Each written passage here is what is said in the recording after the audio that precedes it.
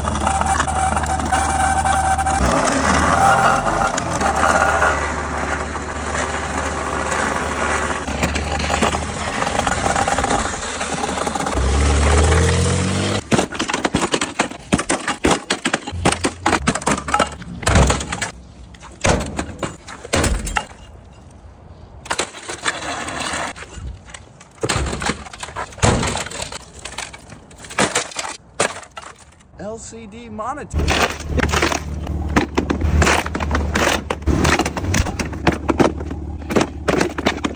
Oh, hold on.